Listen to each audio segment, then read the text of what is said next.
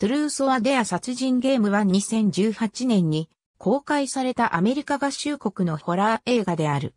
監督はジェフ・アドロー、主演はルーシー・ヘイルが務めた。本作は日本国内で劇場公開されなかったが、2018年12月5日に DVD が発売された。YouTuber のオリビア・バロンは大学の友人たちと共にメキシコ旅行に向かった。現地に到着した一行は酒盛りに教示、真実か挑戦かゲームを行うことになった。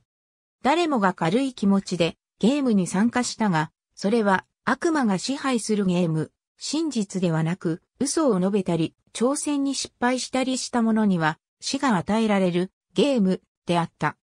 括弧内は日本語吹き替えジェフ・アドローは、ブラムハウスプロダクションズが、トゥルース・オア・デアというタイトルのホラー映画の制作を始めていると知り、オープニングのシーンのアイデアを携えて自分を売り込んだ。その結果、ワドローは本作の監督に起用されることとなった。2017年3月16日、ルーシー・ヘイルの起用が決まったと報じられた。5月24日、タイラー・ポージー、バイオレット・ビーン、ノーラン・ジェラード・ファンク、ソフィア・テイラー・アリ、ヘイデン・ゼトーが本作に出演することになったとの報道があった。7月、オーロラ・ペリノーがキャスト入りした。8月、トム・チョイが本作に出演していると報じられた。10月16日、サム・ラーナーが起用されていたとの報道があった。2018年1月3日、本作の予告編が公開された。本作の主要撮影は2017年6月8日にロサンゼルスで始まり、同年7月12日に終了した。当初、本作は2018年4月27日に公開される予定だったが、後に公開日は同年4月13日に前倒しされた。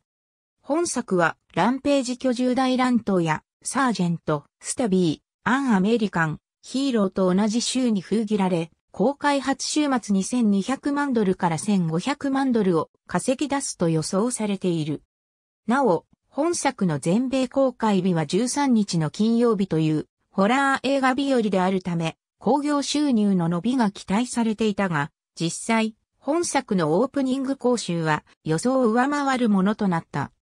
2018年4月13日、本作は全米3029巻で公開され、公開初週末2866万ドルを稼ぎ出し、週末興行収入ランキング初登場3位となっている。本作は批評家から酷評されている。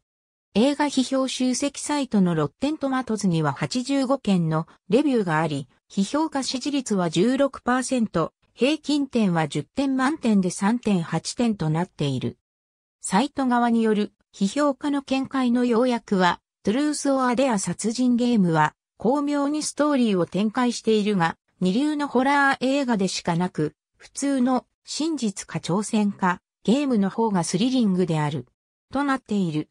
また、メトクリティックには27件のレビューがあり、過重平均値は37、100となっている。なお、本作のシネマスコアは B-